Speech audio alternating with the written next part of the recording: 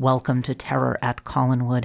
I am very excited to get to today's episode with Amanda Desiree and Stephen R. Shutt as we discuss The Dreamers, the novel that inspired the Dream Curse storyline in Dark Shadows. And then we're going to dive into some uh, symbolic explanations for some of the different imagery in the Dream Curse in the show as well. Uh, so we're going to have a lot of fun with this. And we're going to dive into a very obscure novel that inspired one of the storylines in Dark Shadows. Before we get to that, though, I want to touch on a couple of things. In the last episode I did with Nick Caputo, um, I made a mistake. I said that John Harkins played three characters on Dark Shadows. He actually played four characters on Dark Shadows, and I knew this, but I totally spaced on Mr. Strack, of course.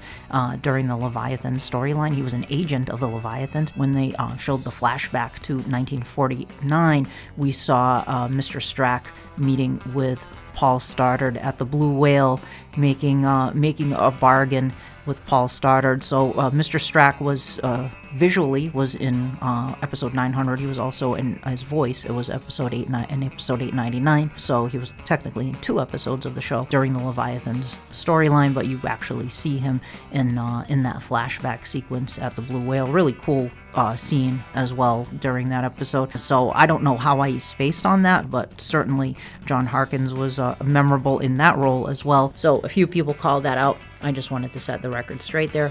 John Harkins played four characters, not three characters in Dark Shadows. It happens, alas, and the older I get, the more often it happens, uh, I'm afraid. So it, it could very well happen again.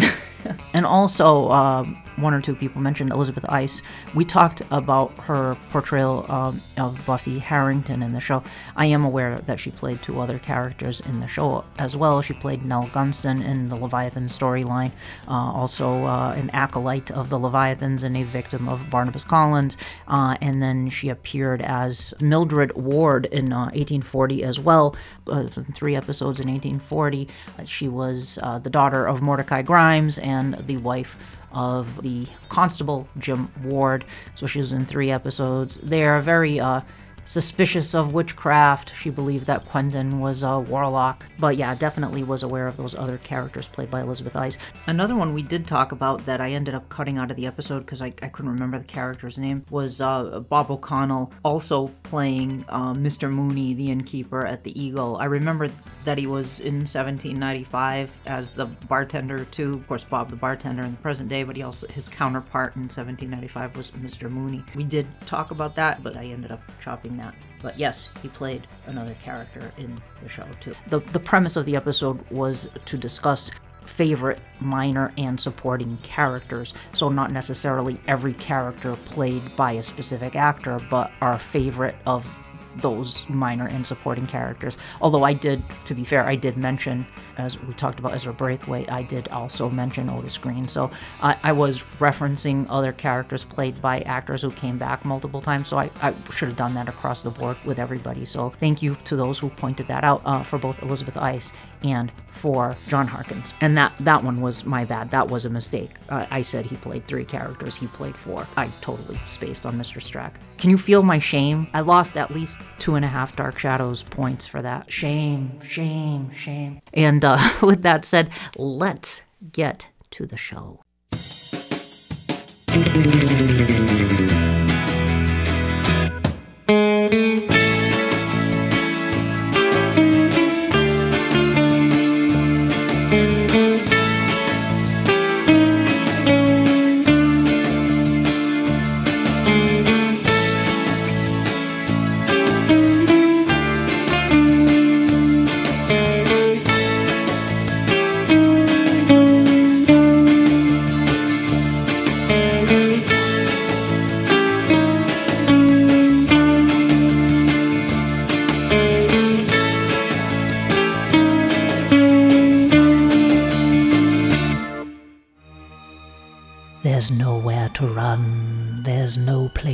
Hide. This podcast is fun, but there are spoilers inside.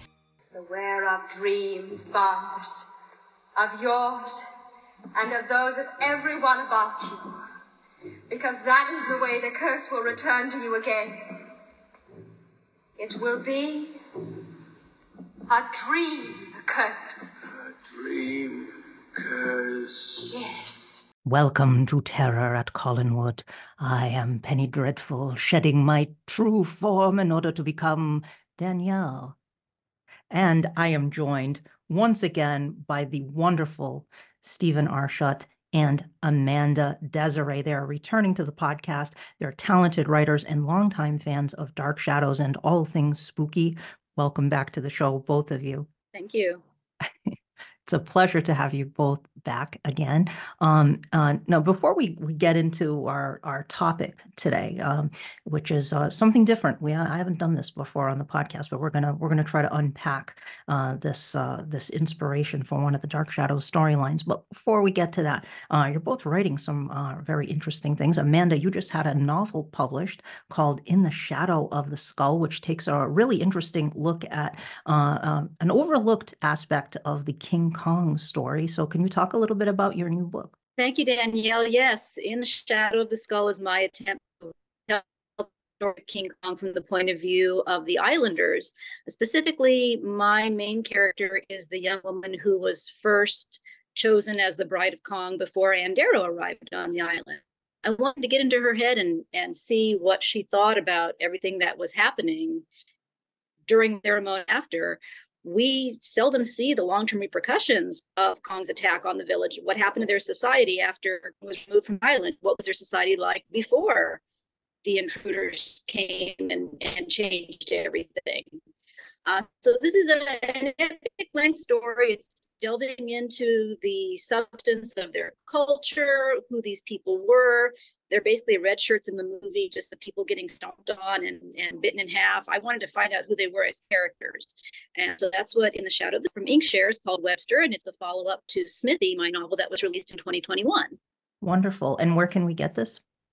Uh, they'll all be available through Amazon and through Barnes and Noble and through local bookstores if you ask them to order. Um, In the Shadow of the Skull is currently only available as an ebook. I'm working on having a hard copy available later in the month. Fantastic. Well, I'll, I will absolutely put a link on to um, to it in the show notes. Uh, and I, I did uh, purchase one recently, but I have not read it yet. But I did uh, I did snag one. Um, Steve, how about you? I know that uh, uh, Stuart Manning is releasing issue two of Daytime Gothic, which is in the works. And speaking of Gothic, you are contributing a piece to that. You're rewriting it, as I recall. So could you talk a little bit about that? I don't know how much you can say about it, but a, a little, a few tidbits would be nice.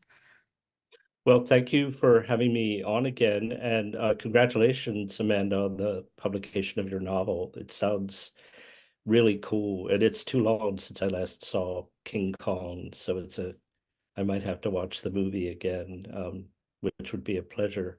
Um, so the next issue of Daytime Gothic is going to be something that um, Dark Shadows fans are going to be really excited about. Um, and my contribution isn't part of what's going to make people really exciting, uh, excited, but um, Stuart um, very kindly invited me to. Um, uh, back in the 90s, I had written something about um, Grayson's first six months on Dark Shadows, the introduction of Julia storyline. And um, he had a memory of it that it was a really uh, outstanding piece.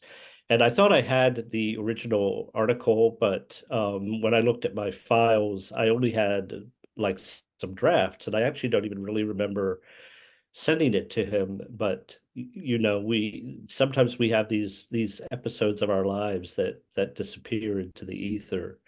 So uh, it was really quite a thrill. It was um, interesting because I was an original. I did did run home or took the bus home from school to watch Dark Shadows, but I started in June of 1968. So the first time I ever saw the 1967 storyline was in syndication in 1976, and it was kind of a shock to me because Barnabas was so nasty and mean. And Julia started out being a scientist resolutely dedicated to the pursuit of truth, but quickly became one of the most deceptive, tricksterish, twisted characters on the show. And so it was fascinating to go back and try to trace all of this and then think about where the show went on after the 1795 storyline was really a reboot. So um so it's it's like a lot to delve into and part of it is because Dark Shadows ate story for breakfast. So Yeah. were constantly scrambling to uh come up with Mm. more to do, which I think is part of what we're going to talk about today with the Dream Curse storyline. Yes, which is when you started watching it. That was that was during that time, right? Yes, indeed. And um, I have tremendous sentimental fondness for that 1968 storyline because of that. And Cassandra and Nicholas are two of my absolute favorite characters on Dark Shadows. So a lot of fans feel lukewarm at best about the storyline, but it's always been a strong favorite of mine. Yeah. Uh, how about you, Amanda? What are your thoughts on the on the Dream Curse storyline? I thought that period was very tedious in terms of the storytelling. Nicholas is a wonderful character. Professor Stokes is a wonderful character, and they are the highlights of 1968. Uh, but the Dream Curse was very repetitive, very drawn out. Um, even the surrounding stories, Adam listening to the tape recorder ad nauseum, Elizabeth fretting about being buried alive. It just seemed like it was was not as vibrant as 1795 had been. My very first song parody at the Dark Shadows festivals, so it'd be nice to revisit today. We're going to be talking actually. Uh, I did I did an episode a while back with um, Rich Hanley on the uh, Dream Curse and uh, Adam and Eve storyline, and we we dove into that specific storyline. But today we're going to take um, a look at it from a, a different perspective. We're actually going to look at the inspiration for the Dream Curse storyline. There it is. The it is called The Dreamers. Uh, it is a novel uh, by Roger uh, Manvell and was published in 1957. Now, uh, just a little bit of background here. A lot of Dark Shadows fans um, are certainly familiar with the famous uh, inspirations for Dark Shadows storylines from the uh, our, our our beloved Rolodex of horror uh, used by by the writers uh, and Dan Curtis on on Dark Shadows, where they were uh, supposedly Dan Curtis had hired a speed reader to summarize uh, all of these classic tales of of terror, and uh, that the writers were using as inspiration for various storylines. And uh, of course, we know the Draculas and the Frankensteins and the Dr. Jekylls and Mr. Hydes and Tales of Poe and all of this. But um, the Dream Curse, a lot of fans for many years believed this was an original story that was uh, con- concocted by the uh, Dark Shadows writers. Uh, however, it was actually uh, inspired by an obscure novel called The Dreamers. It, this was this was kind of uh, uh, muddied by the Dark Shadows Almanac, which listed some of the inspirations for Dark Shadow storylines and listed a story called The Dream Deceivers, author unknown, as the inspiration for the Dream Curse storyline. Um, there is no such story. Uh, it does not exist. Uh, many, uh, several, uh, you know, scholars, etc., looked, horror aficionados looked, tried to find this Dream deceiver story. It doesn't exist. Um, this information about the dreamers has been under our noses the entire time. Some fans are did already know about it uh, because at the first Dark Shadows Festival in 1983, uh, the guest at the festival was Ron Sproat, one of the writers for Dark Shadows during this period. And someone asked him, uh, uh and he told the audience the Dream Curse storyline was inspired by a novel called The Dreamers.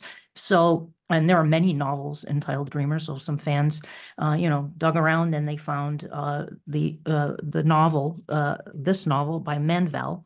Uh, and just a quick review from Goodreads: uh, Five inhabitants of a village near London are subjected to the same dream.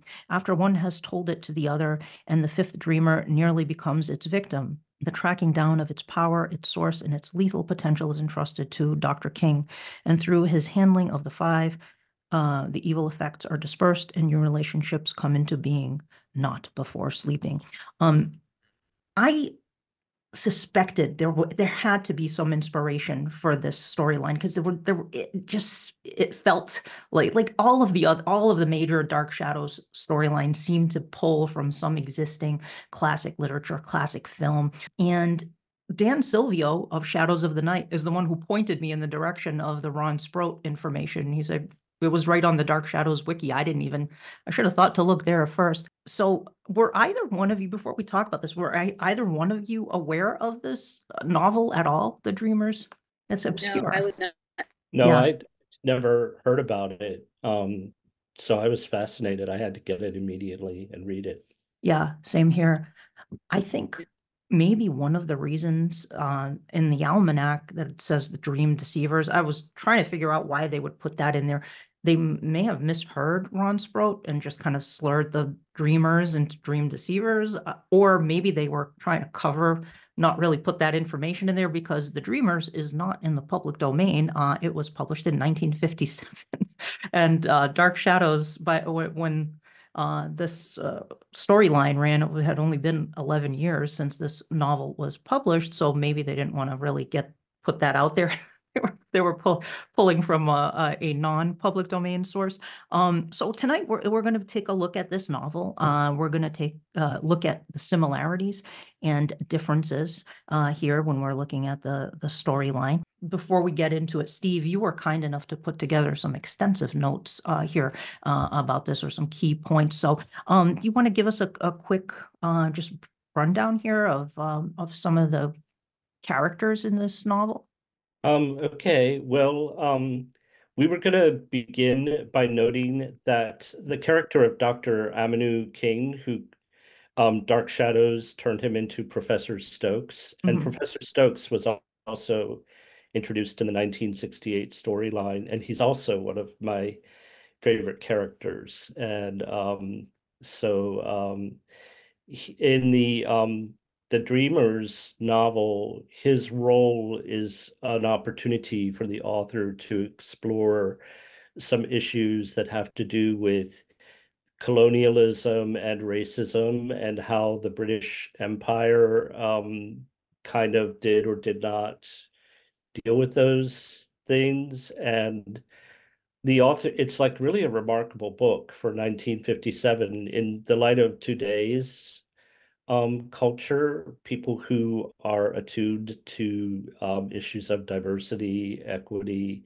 and anti-racism would find a lot of the language around this problematic, but it's kind of not relevant to our discussion here. And if we started to talk about it, we'd spend a long time discussing it. But um, it's it starts out with a woman who's the village postmaster in this village in England, and people who are Anglophiles would know, but nobody else would know that the village postmaster usually runs a general store and has a little desk at the back where they sell stamps and things like that. And um, it's not clear at the beginning, but one day this mysterious African guy comes into the village, and it's the 1950s in England. So if anybody who doesn't look sort of um, white and depleted shows up, it's blatantly obvious. And her encounter with him is very terrifying. And what she doesn't realize is he puts her in a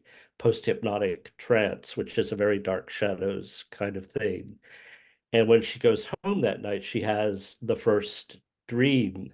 And there were certain um, incidents and in how the dreams are described in the book that were carried over into the Dark Shadows storyline. And s- some of the actors in Dark Shadows did a better job of acting it out than than others did. I won't name names, but some actors, um, when they're in the dream, they're like pushed along by invisible horses. And the one that's closest is actually Maggie Evans, um, played, of course, by Kathryn Leigh Scott, where she tries to scream and nothing comes out. And that's actually mentioned in the book. The first woman who has the dream is so disturbed, she tries to scream and nothing will come out. And then that makes her even more terrified. Um, in uh, the Dreamers, five people have the dream rather than 10 on Dark Shadows. But like I said at the beginning, they constantly needed more story on Dark Shadows. So they were constantly having to come up with more things so they could write all these episodes. And in the Dreamers, um, it's pretty so it's also like not like in the Dark Shadows version, it always goes female to male in the Dark Shadows version, but in the Dreamers version, first she tells her friend, who's also a woman, and then her friend tells her husband, and it's it's not like there's no beckoner, so they added that Yeah. Yep. element, which is a very effective dramatic thing that they added in Dark Shadows. And um that it but it's interesting that in the Dreamers, it's the point of the dream is to wreak vengeance upon somebody who has been wronged, uh, Yeah. who has who has wronged another in a situation um, that involves a kind of thwarted romance, and uh, but it's like much more sick and twisted, even than the one in Dark Shadows. Mhm. And then um, another thing to bring out is that it's said a couple of times in the Dreamers that what creates the fear in each person who has the dream is not really the power of witchcraft or the devil, but it's the the evil. The word evil is used within each person.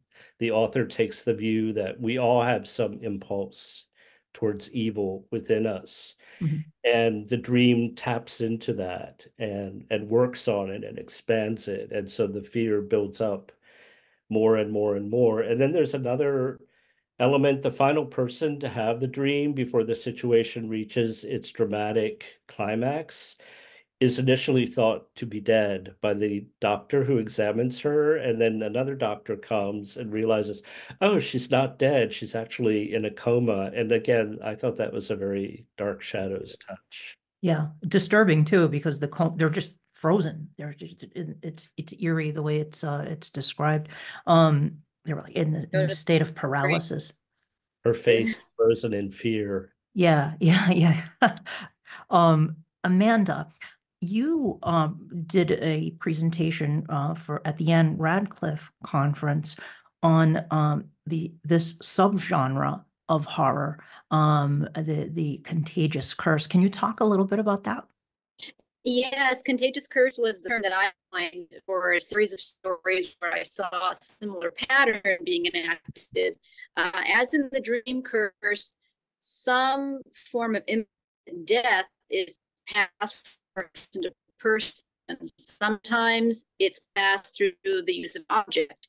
In the story Casting the Runes or the film Curse of the Demon, also known as Night of the Demon, it's a sheet of runes that's traded from person to person in the Bottle Imp by Robert Louis Stevenson. It's uh, sort of a genie in the bottle that brings the curse from person to person. You have to sell the bottle to someone, then they have interaction. Um, it follows the curses passed like a sexually transmitted disease. And in the latest film, Smile, that came out last year, um, the evil is transmitted by somebody who witnesses a crime. So in the dream curse, it's passed verbally. Somebody tells their beckoner what they saw in the dream, and then that person carries the dream. And ultimately, the conclusion of this curse is that the person dies. When I was doing my research, I was trying to find if there was some urtext for these types of stories, if there was some floor um, that lay at the foundation of each of these types of stories, or if you, each author was subsequently copying another story that they had admired. And what I determined is that these stories are very similar to um, religious purgation rituals. I, I use the references to sin eating um, in some European cultures and in parts of this deep south, who would take on the sins, the evils of the deceased person by eating a meal that was either placed on the corpse or placed near the corpse. And this would symbolically transfer the sins from the dead person to the sin eater, making the sin eater a kind of scapegoat. We also have the literal scapegoat ritual, uh, Yom Kippur, where, where you transmit the sins of the people into a goat and then set the goat to the wilderness to, to be killed. Um, so I see stories as a form of transmitting evil, uh, like Steve was referring to. There's evil inside of us. We want to get the evil out. The evil is symbolized by imminent death, and that can be conveyed to a scapegoat or conveyed to another person in this manner. You reminded me of uh, over, we're talking over email, and when I think about one of the other storyline of subplots in Dark Shadows, the the Jeb and the Shadow, the pursuing Shadow, I always think of M.R. James as casting the runes or curse slash night of the demon, but you reminded me of He Cometh and He Passeth By, uh, by uh, the Wakefield story. Um, that one, uh, H.R. Wakefield, that one is closer, even which that one is a descendant or or an homage to uh, to casting the runes, but that one is actually closer to the Dark Shadows storyline. Uh, so that must have been the inspiration for that shadow. I, I think more, even more so than the M.R. James story. Yes, I think it's kind of a combination. He cometh and he passeth by. The the evil is transmitted. You cut out a, a image of a demon from a sheet of paper and stick it on the person you want to kill. So you've got the shadow, you're doomed. And Dark Shadows took the route that M.R. James took, that you can pass it to somebody else or pass it back to the person who cursed you. So so Jeb is able to curse Nicholas by sticking the shadow on him instead. Uh, mm-hmm. Uh, but yes, the, the of the shadow, the, the little paper image comes from Russell Wakefield. Yeah, and it's even described as a, a shadow that becomes an ever growing shadow as it as yeah. the story progresses. Yeah, I forgot about that one. I always think of I always go back to to casting the runes, but that's certainly um uh one that I think that was in the uh, horror Rolodex. Um, but let's let's go get back here to the Dreamers. Um, uh, Steve touched on some of the similarities between the Dark Shadows storyline and um, and the Dreamers, and some of the differences as well. Certainly, Dark Shadows did not incorporate the commentary on on racism in, in Great Britain and colonialism, etc. That that aspect obviously was not incorporated into uh, the Dark Shadows storyline. However, the just the way the the way the dream curse works, um, even the name the dream curse, uh, the the the name of the curse itself is that's what they call it in the dreamers. They call it the dream curse several times. One of the chapters i think chapter six is entitled the dream curse.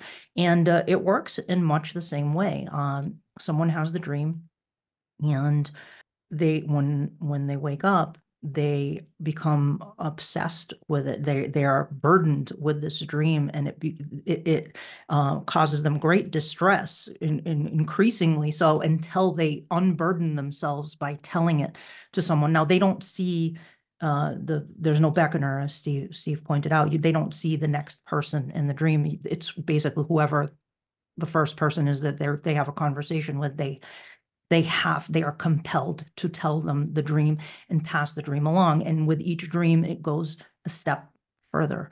It goes a step further uh, and then it ultimately when it reaches its intended victim it kills them. But as we learn it puts them in this kind of frozen state. They look dead but they're not actually dead. But um the the someone sets the curse with the uh, uh in the in the novel we find out who it is.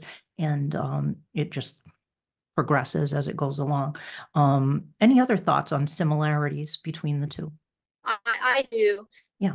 In Dark Shadows, each person's personal fear was represented in the dream, whereas in the Dreamers, the characters all share the same dream, but they respond differently to certain aspects of it. So, for example, the, the dream features uh, walking through a forest, going over a hill, and going into a house. The first person who has the dream is afraid of heights. So the experience of going up the hill is the most terrifying for her. She's afraid she's going to fall off the hill.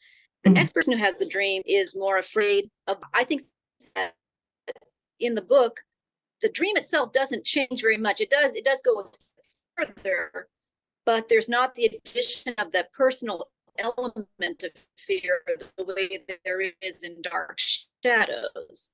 Mm-hmm. Uh, secondly, in dark shadows, each person is condemned to repeat every night until they tell their beckoner about it. In the dreamers, the characters only experience the dream once, but like you said, the memory of it becomes such a burden that they can't think of anything else or function until they tell the dream to somebody else. Mm-hmm. And they're even instructed. I think Dr. King uh, uh, uh, you must says you must not sleep, Doctor Morgan. Uh, there's that's the title of one of the other chapters too. You must not sleep, Doctor. He's trying to you know uh, get him to stay awake. He tries to stay awake because if he falls asleep, he will have the dream and it will then uh, progress or it may kill him. Um, so uh, there's that aspect as well. There's a Steve. Do you have any other similarities you want to throw out there? Um, well, one thing that's um, striking about the dreamers is the part about the dreams it's only like the first fifth or so of the novel, and then most of the rest of it has to do with um this parapsychologist who Yeah. has occult training because he's from some unnamed country in Africa. And um, it was interesting that in Dark Shadows, uh, I've been rewatching the Dream Curse episodes, and in one of them, Professor Stokes says this curse is still known among certain primitive Oh, societies. So that Mhm. is like they're pointing at whenever they talked about primitive, it usually meant Africa or South America or something like that in that period. Um, and um, I think um, one thing that it's kind of like an implicit theme is like Amanda was saying, how the the emotions and the personal psychology of each person who has the dream plays into how the dream um, is experienced by them. And it's interesting to watch the dreams and think about which specific fear. I think only Dr. Lang says he tells Julia when he's explaining when he's telling her his dream, I'm afraid that what I saw means my experiment will fail. Yeah. It's his greatest fear. And I want to look at the, each of those because I think they do represent their a, a deep seated fear for each of those characters. I think they do they they're we can examine each of those images symbolically and take a look at at that. I think that would be fun to look at that. Sure. Yeah. Um, one other thing, you pointed this out in, uh, in an email. Um, uh, further note, having viewed episode four seventy-eight yesterday, script actually quotes from the Manvell novel. Cassandra's prompt to Maggie includes the phrase, until the fear reaches the limit of your endurance. Uh, also, Maggie tries to scream when Jeff is beckoning her, but is unable to make a sound, also mentioned in the Manvell novel. So they pulled an actual, they actually pulled a direct quote out of the, the book, uh, here and, and included that in the storyline. Um, there's another um, thing that happens. Um, Professor, uh, uh, I love Dr. King. I think he's he's a, such a great character. I really enjoyed him. There is, it's it's it's an odd combination because Manvell also others him a lot in the in the in the in the book, but also kind of puts him on a on a pedestal because he knows th- these secrets. He knows how to deal with this situation. He's a great character. Also, I mean, in the same tradition, uh, uh, in a different way, but cut from the same cloth as Professor Van Helsing, of course, which I think also is an inspiration for Professor Stokes.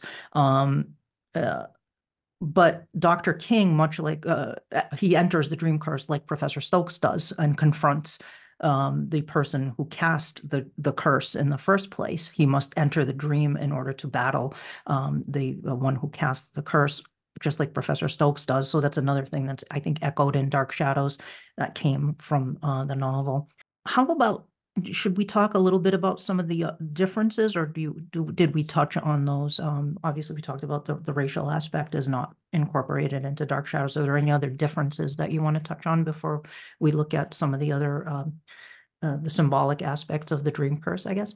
Uh, one other difference, as Steve pointed out in Dark Shadows, the dream is intended to follow a specific path. Each person sees a beckoner, and that's the person they're supposed to tell. Mhm. Uh, the the drama that occurs in the Dreamers is that an innocent bystander is injured.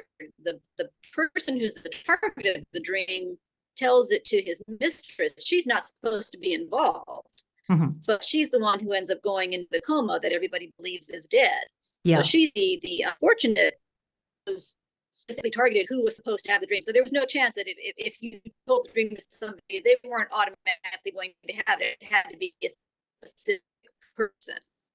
Yeah, that's a good point. Yeah, she she was not the intended target, uh, and yet she is the one who ultimately fell into uh, the coma. Uh, we didn't talk about the reason um, the curse was cast or who who cast the curse. Should we? Should anybody want to talk about that at all? Or, uh, I mean, it isn't really relevant to the Dark Shadows storyline, but I, we could talk a little bit about that if you like. Well, it's it's very um, interesting how it's handled. Um, if you want to read the book, it's better maybe to skip over this bit because it Yeah. plays somewhat like a detective novel, or a murder It does, yeah. That there's an injustice that is actually at the root of everything that's going on. And in Dark Shadows, we already know the situation because the 1968 storyline in Dark Shadows is the sequel to 1795. And a lot of what happens in 1968 plays upon themes that were brought in Yeah. in 1795. But in The Dreamers, the novel, um, it has it again has to do with colonialism and racism Yeah. of people who were sent to various British colonies to do, um, in this case, um, medical work. And the doctor, it's the character of um, Dr. Morgan um, in the book, had been out in one of these colonies in Africa. And it's a complicated situation. Maybe I'll just say, like in outline, he had a patient. The person he had the most contact with was the patient's spouse, and the man had gone to great lengths to try to get him to treat his wife. And because of his both his racism and I would say his psychological weakness, Morgan failed to step up to the plate, as it were, and failed really horribly. And so then as a result, the um, the wife of this man dies, and that's the the wrong, the injustice that the Mm. man swears to avenge, but it's not being done out of a spirit of justice. It's being done out of a spirit of vengeance, paying back what was Yeah. done to him. And I I thought the psychological dynamics were were really interesting. They're also a little bit um if you are not really comfortable with the world of the mid 20th century and how things were written about, then for some readers, I guess we would call it a content warning or a trigger warning Mm. Days because uh, I, I work at a major university and we talk about these kinds of issues a lot Mhm. now, all, all the more so with what's been in the news recently. Sure. So, um, but it's really, I think it's very compellingly written, and it's fascinating about Roger Manvell. He's mainly known for his um, work on the Nazis, on the history of the Nazis. He wrote a book about Goebbels, and um, that's often cited. And but then he became a film professor at Boston University. He moved here to Boston, and that was where he ended up. But when Dark Shadows was on, he was actually in England, I think in Cambridge University, getting his degree. So I'm sure he never knew, unless a friend of his in the States happened to be watching and realized, oh, guess what? They're like ripping off your novel for this opera. I, I could I could kind of see Dan Curtis saying, oh, he'll never know. Let's let's let's use that story, you know. Yeah, maybe he never found out, but because he was a professor of film, I think he might have been intrigued initially to Yeah. know, oh, my book is being adapted. But then, you know, like there's the problem that they had with, like they could never have done how the dream is depicted in the novel. You you would need major, I mean, it could be done today with CGI and things like that, but in the 1960s in a TV studio, there's no way they could have, uh, No. especially Dr. Morgan's dream, which for male readers, Dr. Morgan's dream has a specific detail that may really curl your hair or make you very uncomfortable. So The- that. The uh yeah, the dream, the way the dream plays out in the novel is com- is different. Uh, it's, the imagery is completely different. There's no little rhyme through sight and sound and faceless terror. Right. That that was all made up for Dark Shadows. I mean, no Josette's music box, obviously, none none, none of that. Uh, it's just the the idea of it, and maybe it was different enough that they felt they could get away with it, sort of like the lottery. Uh, the lottery in the 1841 parallel time storyline is clearly inspired by Shirley Jackson's Lottery, but it's not exactly like the lottery in the story, which was not public domain and still isn't, as far as I know.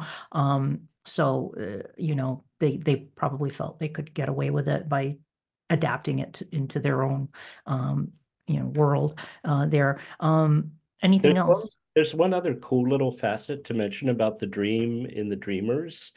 Um, the dream it represents like this, there's this house that's at the center Yeah. of it. Mhm. And in terms of um both occult and psychological understanding, the how a house is often a representation of the self. Mhm. And um, so it's very interesting that that's the motif. In the Dark Shadows dream, it's not really a place, it's just this vague space with all these doors. That visually, I think that's very striking. I think a lot of Dark Shadows fans were not impressed. It's kind of difficult when you see the bucket with the dry ice coming out and the um, stagehand in the background. That's only in like one that you do see a stagehand actually fanning the dry ice. But um, it's cool that that um, that they tried to come up with something to correspond to the idea of a house. But I think Angelique, when she confronts Stokes, says, "You will die as a statue amidst all this ruin," and it's um, that's not from the Dreamers at No. all, and that's No. a really cool line. It is a really cool line. Uh, yeah. Um, Amanda, any other thoughts on uh, the Dreamers? Um, not so much about the Dreamers. I was just going to say the production values of the Dream Curse and the show a little bit to Milton Bradley, their mystery date board game. Who's behind the doors? Going to be the headless body or the howling wolf to dance tonight? To uh, to do it with their uh, limited resources. Yes, yeah. You you were breaking up a little bit there, but I got the I got the gist of what you were saying there. The, the mystery mystery board game you said Mystery date. mystery date. Okay. Mystery date. Are you ready for your mystery Mystery date? Don't be late. The key won't It, yes, it does have that vibe, and or a fun house, like a fun house, uh, you know, House of Horrors at a carnival kind of a kind of a thing. When I was a kid, I didn't even notice the dry ice uh, and the stagehand. That that I it, I didn't notice it. I don't know why, but I just did not. I think I was just so entranced by what was happening that I didn't didn't I didn't notice that until I watched it as an adult, and I was like, oh, well, there it is. Um, but um, there is a you you uh I guess I'll close out so- unless anybody else has anything else to say about the dreamers. Um you sent some uh great quotes here, Stephen. I'm gonna read the last one you sent here. The dream, this is from the dreamers, the dream you have experienced is a concentration of evil. It was made to destroy life. The man who has made it has become very powerful because of the evil he has created inside him, and he has reached out with his mind to inflict the evil he has generated generated upon the man he hates. Fear is the greatest enemy of life. The worst death of all to inflict on others is death through fear, for then life is led to destroy itself. The last dream is intended to take the dreamer beyond the limit of his endurance, to make him destroy his own life in the agony of unendurable fear. Uh, that, that, thank you for pulling some of the quotes from the, novel here. I wanted to, to close the dreamers discussion out with that because I think that's that's a really cool quote. And as you said, it's echoed in Dark Shadows itself. Okay, so um, let's then move on here for the second uh, half of this episode and talk about the dream curse itself. So we touched a little bit on this in terms of the symbolism in the dream curse. I do feel that each of those images is meant to symbolize, symbolize something in, in dark shadows. Um, and I think you both expressed some interest in, in also in this. So uh, I, I'm gonna, Steve was kind enough to break these down uh, for us for each dream, how each dream ends, the last thing we see in each dream. So I'm gonna read these out and then I'll throw it out to either of you if you have anything you wanna uh, throw out there in terms of your own um, thoughts on this speculation on what these uh, images symbolize. I'd love to hear from you on these and I'll just go through each one. Maggie has the first dream. She sees a grinning, garishly lit skull and awakens screaming. Sound of Josette's music box is part of the dream.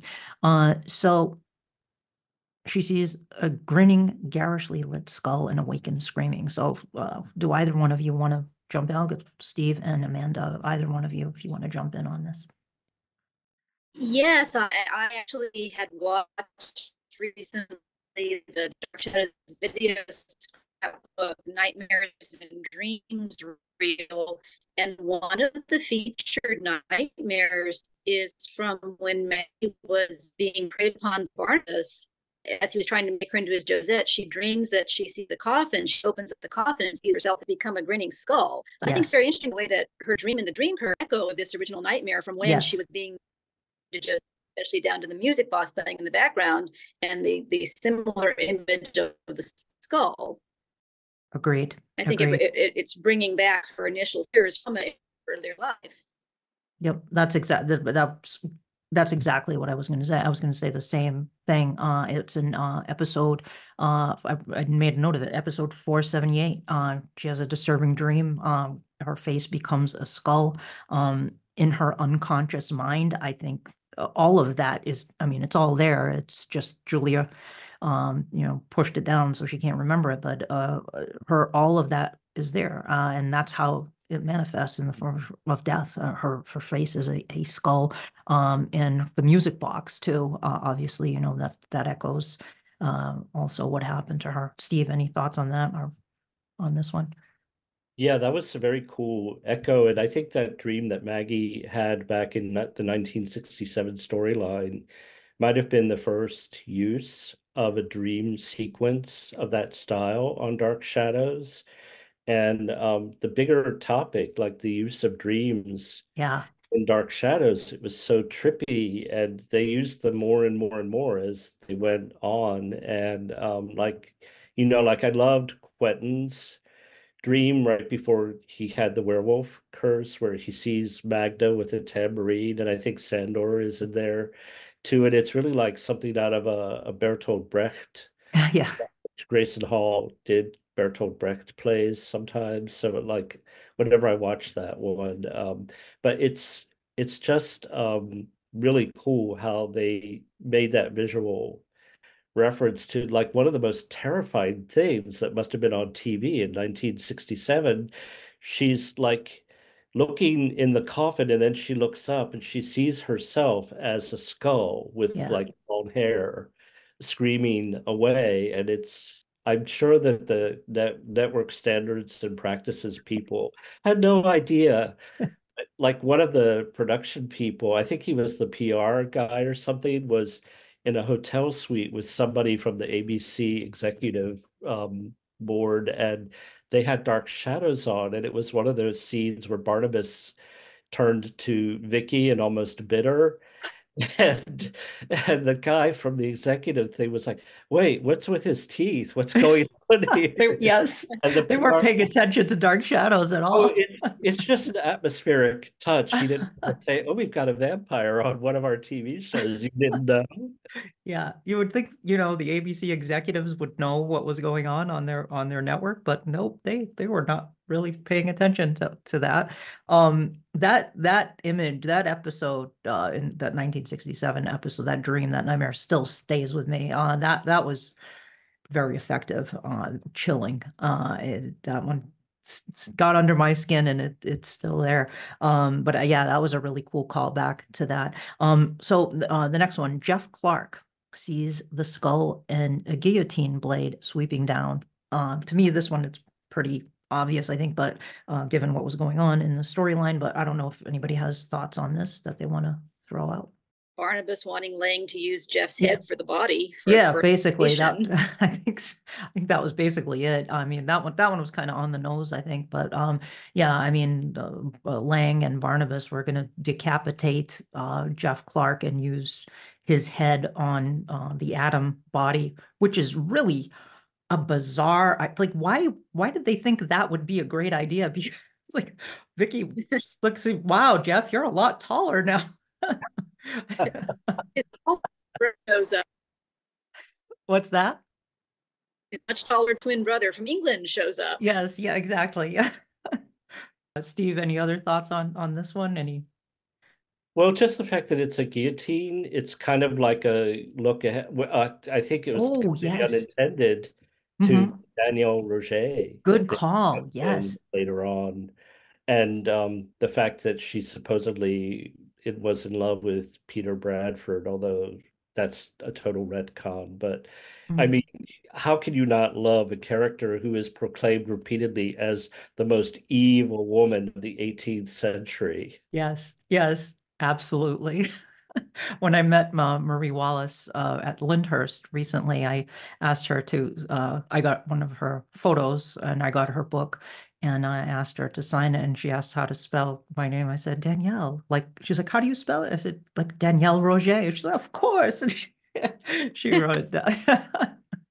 um so uh, yeah uh good call there uh with with the guillotine and the french revolution and danielle roget that's wonderful yeah and uh okay um moving on here um let's see uh you i mean dr lang himself um tells us dr eric lang sees the skull the guillotine and a headless man while insane laughter peals onwards lang tells julia his beckoner that the headless man represents his fear that the experiment will fail. So uh, I think uh, that all plays into it, but his fear that the experiment will fail, this headless body. Any other thoughts on this one? Not for me. No, no. no? Okay. Um, okay, moving on. Yeah, Dr. Lang tells us uh, what, what that means. Julia has the dream after Lang's death and sees the skull, the guillotine, the headless man, and a skeleton in a wig and bride's gown and veil. Thoughts on this one? It represents Josette that she can never compete with this dead bride that Barnabas still pining for. Oh, interesting. Okay, yeah, I like that. Okay. Steve?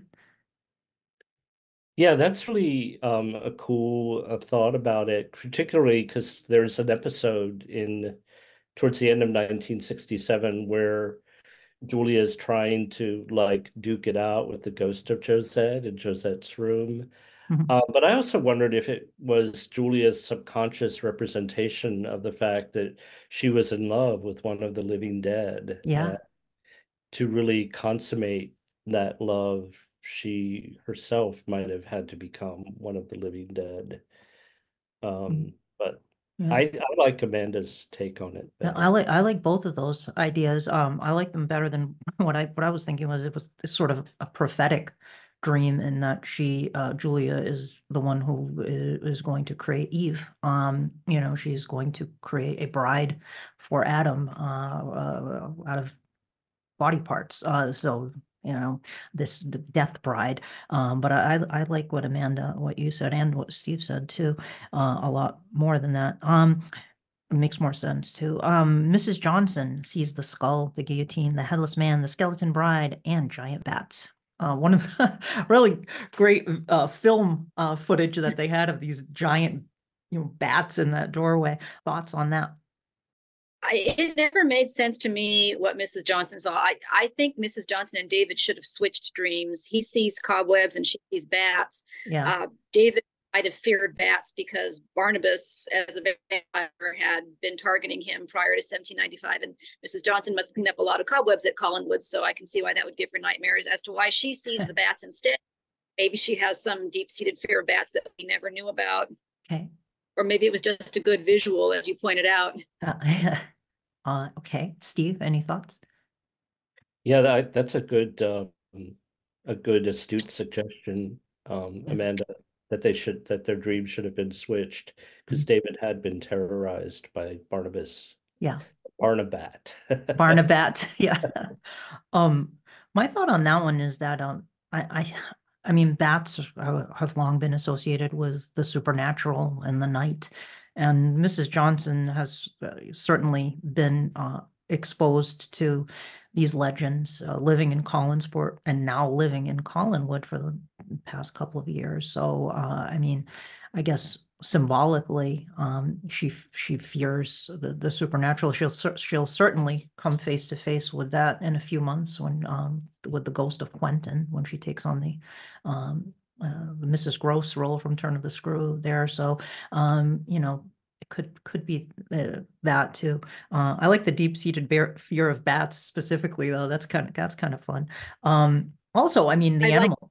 Mm, I like your symbolic representation more. She does come across as being a little more superstitious than some of the other characters. I, I remember one of the episodes when Mitch Ryan was still playing Burke Devlin. He's talking to her about some of the things she's seen at Collinwood and asking her, well, "You don't really believe in in the boogeyman, do you? You don't really believe in things like that." So Mhm. I, I can see where you're that it, it does it does fit her character. mhm. Okay. Okay, yeah, I can I can see that. Um, and also David, David sees the skull, the skeleton bride, the bats, and a spider in a giant web in which he becomes entangled. Thoughts on that one?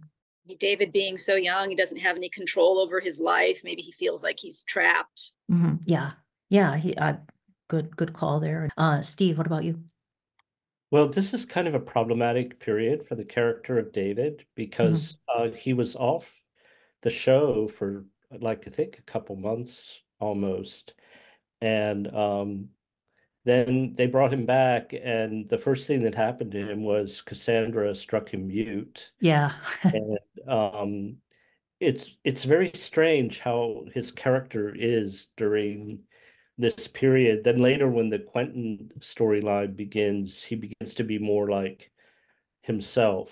Yeah. Um, but um, yeah, I, I like that image of him feeling like he's caught. He's definitely caught in Cassandra's web at Yeah. this particular moment. yeah. Um, I, I, I had something similar. I, th- I think David is often the target of the supernatural at uh, Collinwood. He was, when his mother came back, when Laura came back, she was going to take him into the flames. Barnabas targeted him.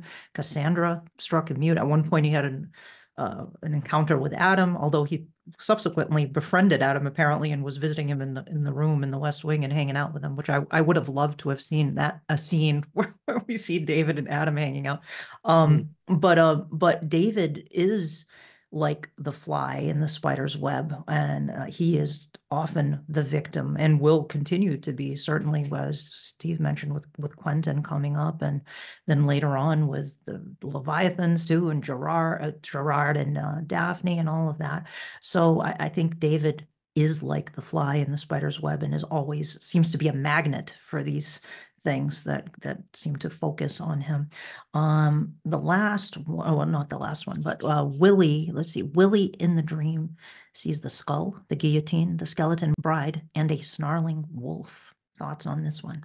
The howling of dogs or maybe wolves always signaled that Barnabas was about to rise from his coffin, and that was very frightening Willie in the beginning because Barnabas was a was a scary, violent guy. Yeah, I think that that calls back to the the pre 1795 evil Barnabas days. mhm, definitely. Yeah, uh, Steve.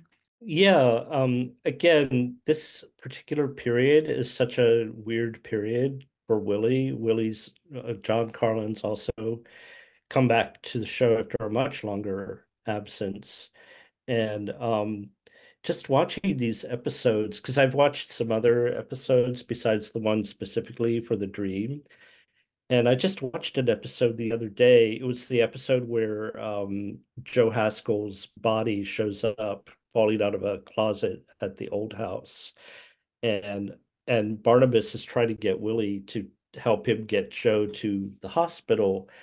And Willie's saying, you know, Barnabas, Maggie really likes me. And Barnabas is like, will you stop talking gibberish? Yeah. And Barnabas is so mean Yeah, to Willie, and Julia is also very mean to Willie during this period. And then Willie does, after a while, like uh, certain events that happen at the end of this particular the dream curse thing, Willie starts to acquire some more of his own agency. But um, I also felt like the snarling of the dog might represent Willie's fear of his own aggressive impulses getting out of control. But again, I think um, Amanda, what you suggested is much more on the mark. That it's a memory of how the dogs would howl whenever Yeah. Barnabas was about to go out into the night. yeah. Uh, I, I I like that too. I, I I put that down too. Like, I think I do think the wolf represents a wolf is a predator, you know, and it rep, it does I think represent Barnabas and Willie's the one who let Barnabas out. He's the one who let him out into the world. It ties into absolutely echoes that whenever Barnabas uh was you, about the bloodlust and the and the uns the, the animals were unsettled by his presence these dogs howling and howling certainly i think uh on some level willie still deeply fears barnabas i think you know they're on on some level he you know suffered a lot at the hands of of barnabas and knows he was one of the undead and could become that again um so absolutely um yeah and then we have Let's see here. Carolyn, hypnotized by Stokes, has the dream and sees the skull, the guillotine, and the skeleton bride. It ends in her seeing her own tombstone, died July 15th, 1968. thoughts on this one? I can see a couple of different interpretations. She had just watched her mother being terrified of her own death. Perhaps that's a sign that it, it's a generational fear that Carolyn also has these same fears about her impending death, especially if, if, if you take the position that she's been symbolically buried at Collinwood for most of her life, hasn't really had much of a chance to do any living, and to see the the date on the tombstone indicating that her life, such as it is, might be ending sooner than she thinks, that could be very frightening. Um, I wonder if it also is meant to be a red herring. At, at the time the episode aired, July 15th was not very far in the future. Perhaps the audience was supposed to believe that Carolyn was in some kind of danger, perhaps from Adam or from some other source, and wonder if maybe her character was going to be killed off if this mm-hmm. was a precognitive. Excellent. Good. Uh, Steve? Oh, those are all really great comments. Um, I kind of thought like the most primal fear of all for many is the fear of death. Yeah. And um, she's getting close to the end of the dream curse. So the fear is just becoming more kind of nitty gritty, I guess. Okay, excellent, good. Um, uh, yeah, I I agree, Amanda. You're the, the absolutely. It's you, I think you nailed it there. A fear, a fear of dying, and like Steve said, you know, it's a primal fear and fear of dying young. Uh, 1968, Carolyn was still young, so um, very good uh, observation there. Uh, Stokes confronts Angelique in the dream. Um, Cassandra gives Sam Evans a potion. It, introduce, it induces the dream. Vicky is his beckoner, and he sees the skull, the skeleton bride, and the guillotine. In the end, he sees Maggie mourning at his own funeral. Thoughts on this one? No, I think that definitely was a precognitive dream because Sam Evans dies shortly after having Yeah. that dream. It's true. Yeah. Yeah. Yeah. Steve, any thoughts? Oh, yeah, I would definitely agree. In fact, it's so similar to the Carolyn dream that it may be intended to be like that Cassandra was moving it back on track after Stokes' effort to make it terminate. Yeah. Um, so that interaction between Cassandra and Stokes is really fascinating. I love that. Oh, it's a great episode. Cottage, yeah. And she's it, trying to give him the tobacco, the enchanted tobacco. It's yeah, that's great. Um, yeah, um, it, I, I think you're you're right. Precognitive dream there, but also I, I think you know Sam fears. I mean, Maggie lost her mother. Uh, you know, he there, he, he's all she has left. Uh, she, he probably fears know, seeing her despair and not uh, knowing what life will be for her once he's gone too. There, she's she'll be alone, you know. Uh, so uh, there's also that uh, aspect playing into. It. But I, I do think there's a precognitive um, aspect here to this dream. Um, the goal, uh, and the rest of these, the the last dreams are, um, you know, we have Vicky has the dream. Barnabas is the beckoner. She sees Barnabas lying dead at the old house. Um, I mean, I I think the, the now as we get to the the climax of the dream curse. There wasn't, I don't know if there's so much symbolism here. Um, it seems, and then Barnabas is attacked by the bat out of hell uh, in the episode that features, as Steve noted, the slap heard around the world. Uh, uh, any thoughts on those last two dreams? I don't know if there's much symbolism there, but if you have any thoughts, please feel free to share them. I think it's just pretty literal. Vicky dreams of Barnabas dying, and then he does. So I can still remember watching those when they were first broadcast. Um, I think I watched that one at the one um, where he has the dream. Um, I think I was at my grandmother's house. That's what I Mhm. remember. Mhm. And um, and I was transfixed by the slap heard around the world. It Was such it Julia on? It was such a great, great scene, very memorable uh scene there for sure. Um, do either one of you have any other thoughts that you want to share in, in terms of the dream curse, the dreamers, or any kind of uh, symbolism you want to mention, or any of that? in our email discussions prior to, to this show, we had done some other literary works that share similarities to the Dreamers or the Dream Curse. Uh, Steve had mentioned The Room in the Tower by then uh, before before you revealed that the dreamers was the source of the dream curse i had thought that a short story called The Dream by A.J. Allen might have led the writers to, to take this plot line. It's also about somebody who has a recurring dream and the person who features in the dream, at the beginning of the show, how the dreamers acts upon the inherent evil within each person to, to frighten them to the point of death. Uh, that reminded me of a story by Eleanor Scott called The Dome. Each person who sleeps in the so-called haunted room ends up having a terrifying dream in which they see the worst version of themselves, and it it it, it preys on their minds. It has the same haunting effect that the dream has in the dream curse. Uh, mm-hmm. Uh, so all of these stories predate the dream curse itself. I, I, wonder if any of the writers or the person who compiled uh, the horror Rolodex might have been aware of these stories, or if it's just that these are similar themes uh, in the ether, in, in the collective unconscious, that return through story shows. Yeah, um, I, I, I want you mentioned a play, but you broke up when you when you said the title. What was it called? Uh, for for which story? The where the person people have the a dream that where they see the worst version of themselves. What, was that? Oh called? yes, it's called The Room. It's by Eleanor Scott. The Room by uh, Eleanor uh, Scott. Okay.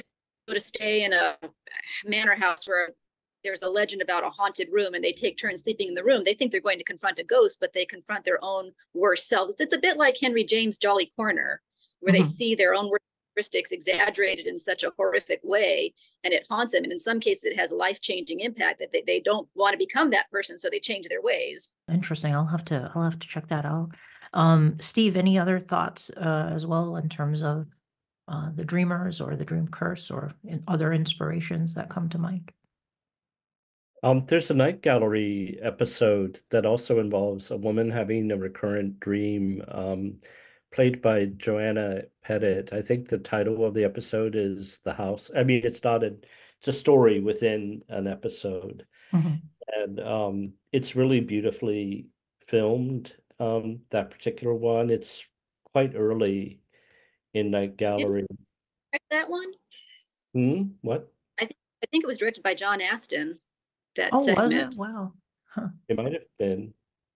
Huh director in addition to one of my favorite actors. Yeah, yeah. He's, he's fantastic. I did a show with John Astin a few years ago. It was uh, called Radio Classics.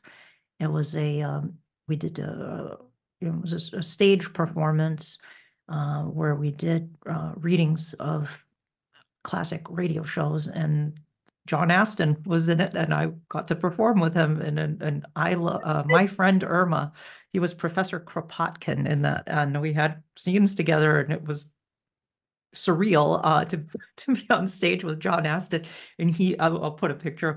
Um, he is so nice. I mean, you're just such a genuinely nice person, uh, very down to earth and very friendly. And I mean, I was trying not to fangirl out too much talking to, to John Astin. But it was very difficult to, I had to suppress that and be professional, but he was so, uh, nice to talk to. And I think he's still, I think he's still teaching, uh, if I'm not mistaken, John Hopkins University. I don't think he's retired. He must be in his 90s at this point, but um, he's still, uh, he's still active and such a delight.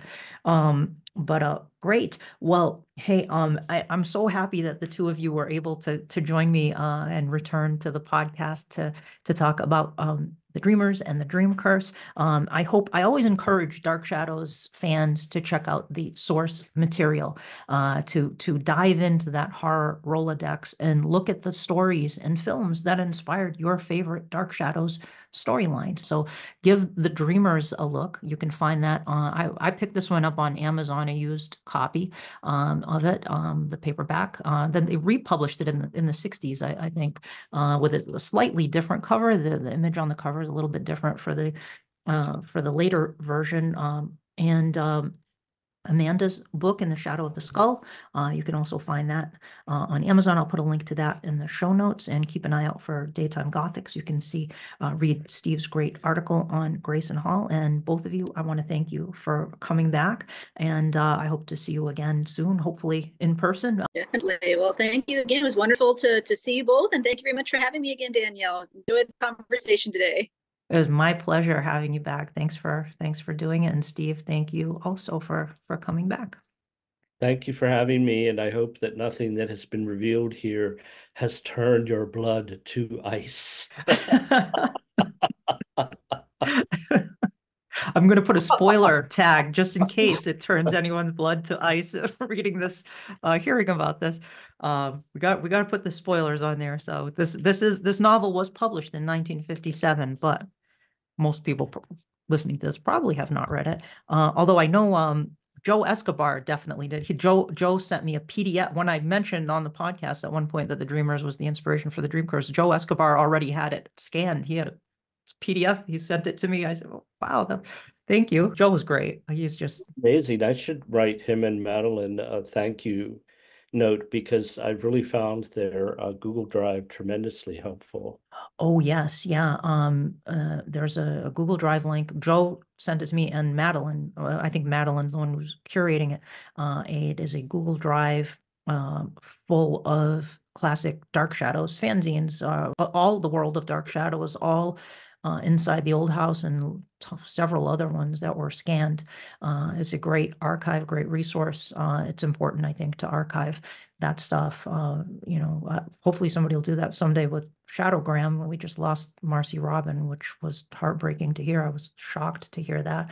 There are a lot of shadowgrams, though that's going to take a while to scan all, all, of those, I'm sure. But yeah, it's crazy. We we we had so many Dark Shadows fanzines back, you know, 70s, 80s, 90s, 2000s, even um, into the 2000s. We had a lot of Dark Shadows fanzines, but now, luckily, we have Daytime Gothic coming out. But um, but that's you know, that's it uh, as far as I'm aware in terms of print uh, fanzines.